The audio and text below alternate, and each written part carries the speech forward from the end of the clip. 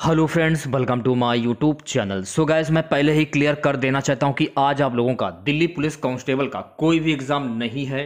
ये वीडियो मैं उन बच्चों के लिए लाया हूँ जिन बच्चों का आगे आने वाली शिफ्टों में एग्ज़ाम लगा हुआ है। तो वीडियो काफ़ी इंपॉर्टेंट है आप लोगों के लिए तो इस वीडियो को पूरा ज़रूर देखिए।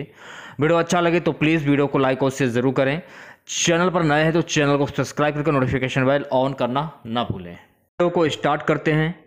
आज के सेशन में पहला क्वेश्चन कला मंडलम कल्याण कुट्टी अम्मा को किस नृत्य में पुरस्कार मिले हैं? कला मंडलम कल्याण कुट्टी अम्मा को मोहिनी अष्टम नृत्य में पुरस्कार मिले। तो मोहिनी अष्टम आपका सही आंसर हो जाएगा। नेक्स्ट क्वेश्चन देखेगा।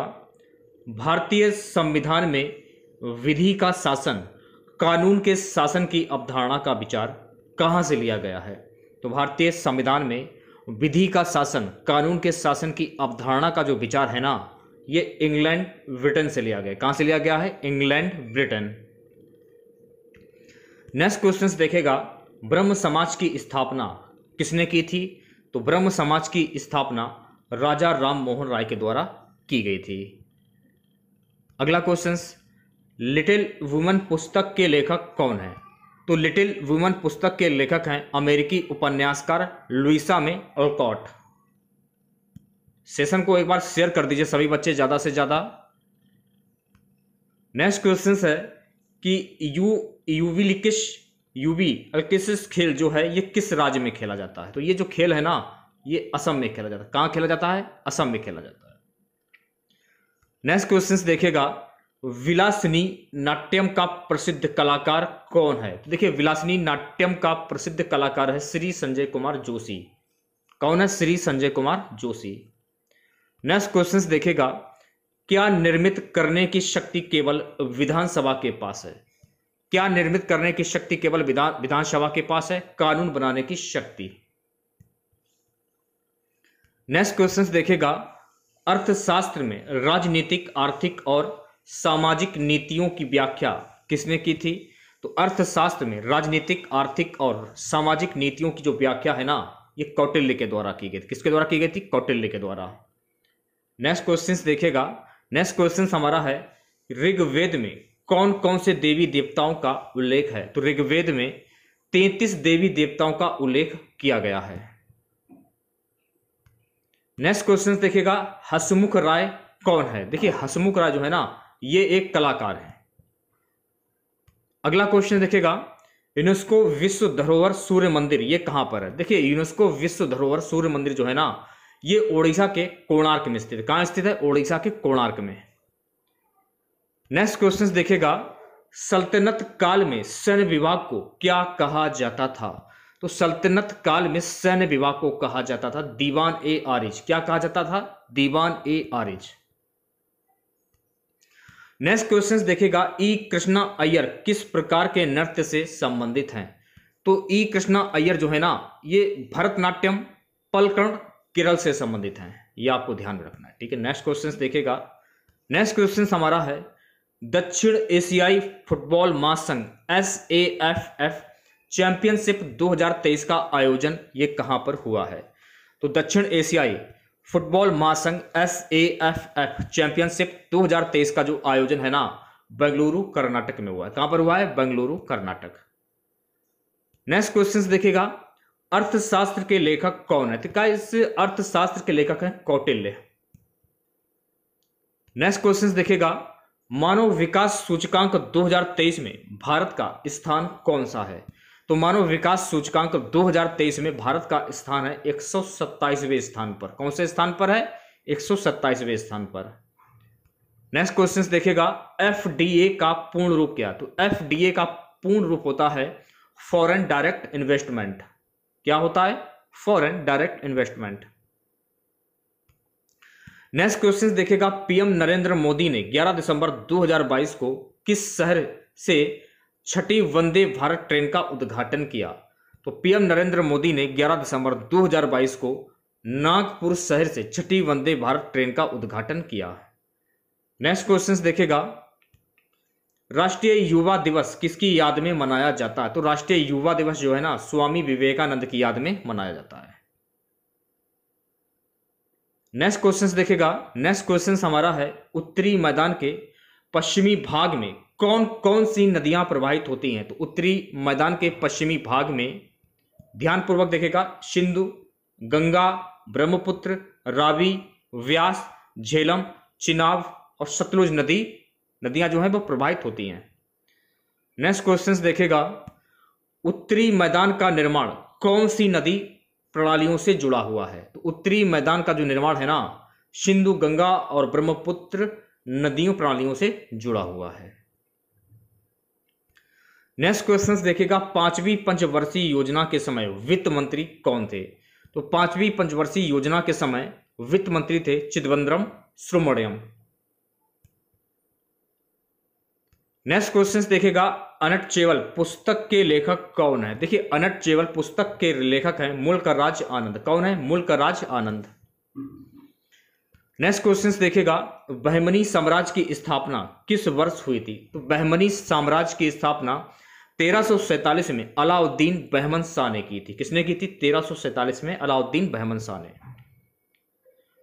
अगला क्वेश्चन देखेगा E W S economically weaker section आरक्षण कौन से संवैधानिक संशोधन से संबंधित है? तो यह संबंधित है 103 नेक्स्ट क्वेश्चन सर्व शिक्षा अभियान एस एस ए भारतीय संविधान के किस अनुच के अनुच्छेद के तहत चलाया गया था? तो सर्व शिक्षा अभियान एस एस ए भारतीय संविधान के अनुच्छेद 21 ए के तहत चलाया गया। किसके तहत चलाया गया था? अनुच्छेद 21 ए के तहत। नेक्स्ट क्वेश्चन देखेगा भारतीय संविधान में पहले कितनी अनुसूचियाँ थी? तो भारतीय संविधान में पहले कुल आठ अनुसूचियाँ थी। कितनी अनुसूचियाँ थी? आठ अनुसूचियाँ। नेक्स्ट क्वेश्चन देखेगा। मुस्लिम लीग की स्थापना, किस वर्ष हुई तो मुस्लिम लीग की स्थापना? 1906 ईस्वी में हुई थी। कब हुई थी? 1906 ईस्वी में। नेक्स्ट क्वेश्चन देखेगा। संसद को कौन कौन सी विशेषताएँ होती हैं? देखिए, संसद की सबसे महत्वपूर्ण विशेषता यह है कि इसमें राष्ट्रपति शामिल होता है। राष्ट्रपति के पास संसद के दोनों सदनों को बुलाने या स्थगित करने की शक्ति है। संसद राज्यों की सीमाओं और नामों में बदलाव कर सकती है। तो ये आपको ध्यान में रखना है। नेक्स्ट क्वेश्चन देखेगा नेक्स्ट क्वेश्चन हमारा है, भारतीय संविधान का निम्नलिखित में से कौन सा अनुच्छेद राज्यपाल को अध्यादेश जारी करने का अधिकार प्रदान करता है? तो भारतीय संविधान का अनुच्छेद 213 राज्यपाल को अध्यादेश जारी करने का अधिकार प्रदान करता है। तो अनुच्छेद 213 आपका सही आंसर हो जाएगा। ठीक है नेक्स्ट क्वेश्चन देखेगा राजनीति के निर्देशक सिद्धांत डीपीएसपी किसमें आते हैं? तो ये आते हैं भाग चार, अनुच्छेद 36 से इक्यावन में। नेक्स्ट क्वेश्चन देखेगा मिड नाइट चिल्ड्रन किसकी पुस्तक है? देखिए मिड नाइट चिल्ड्रन जो है ना, ये सलमान रसदू की पुस्तक है। किसकी पुस्तक है? सलमान रसुदी। नेक्स्ट क्वेश्चन देखेगा बंधन बैंक की स्थापना कब हुई थी? तो बंधन बैंक की स्थापना 23 अगस्त 2015 को हुई थी। नेक्स्ट क्वेश्चन देखेगा। सोनल मान सिंह किस नृत्य शैली से संबंधित है? देखिए, सोनल मान सिंह जो है ना, ये भरतनाट्यम और ओडिसी शैली से संबंधित हैं। तो भरतनाट्यम और ओडिसी आपका सही आंसर हो जाएगा। नेक्स्ट क्वेश्चन देखेगा। मृणालिनी साराभाई कला के किस रूप से संबंधित थी? देखिए, मृणालिनी साराभाई जो है ना, ये भरतनाट्यम के रूप से संबंधित थी। नेक्स्ट क्वेश्चन देखेगा कॉफ़ी उत्पादन में कौन से दो राज्य शीर्ष पर हैं? तो कॉफ़ी उत्पादन में कर्नाटक और केरल दो राज्य शीर्ष पर हैं। नेक्स्ट क्वेश्चन देखिएगा, मुगल काल में कपास की खेती को क्या कहते थे? तो मुगल काल में कपास की खेती को जिन्स एक कामिल कहते थे। क्या कहते थे? जिन्स एक कामिल। नेक्स्ट क्वेश्चन देखेगा 2011 की जनगणना के अनुसार 10 करोड़ से नीचे किस राज्य की जनसंख्या है? देखिए 2011 की जनगणना के अनुसार 10 करोड़ से नीचे सिक्किम, पश्चिम बंगाल, आंध्र प्रदेश, मध्य प्रदेश, तमिलनाडु और राजस्थान की जनसंख्या है। ये आपको ध्यान में रखना है, ठीक है? नेक्स्ट क्वेश्चन देखेगा नेक्स्ट क्वेश्चन हमारा है, अध्यादेश कौन जारी कर सकता देखिए, अध्यादेश जो है ना, ये राष्ट्रपति जारी कर सकता है।